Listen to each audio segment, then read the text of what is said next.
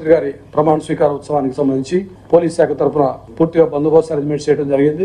ఇక్కడ మాకు ఈ బందోబస్తులో మూడు నాలుగు ఇంపార్టెంట్ భాగాల కింద చూసుకోవచ్చు. ఒకటి వచ్చేసి వేదిక వద్ద మున్సిపల్ స్టేడియం మున్సిపల్ స్టేడియం చుట్టుపట్ల లా అండ్ సంబంధించినటువంటి బందోబస్తు. రెండవది సిటీ లోపల భాగంలోను అంతర్భాగంలోను తర్వాత బయట వైపున ట్రాఫిక్ మళ్ళింపుల గురించి.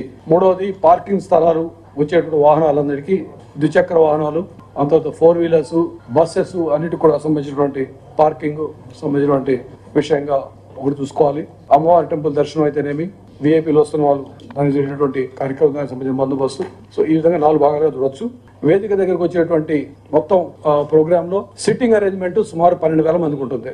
వేదికలో గ్రౌండ్ మధ్యలో గ్రౌండ్ భాగంలో కూర్చున్న వాళ్ళు పన్నెండు వేల మందికి సీట్స్ ఉంటాయి. వారందరికీ డిఫరెంట్ కైండ్స్ ఆఫ్ పాసెస్ ఉంటాయి. WA pass AA pass A one pass A two pass B one B two ఇది కాకుండా అదర్ ఇన్వైటీస్ సో విధాన పాస్ అన్ని ఉంటాయి.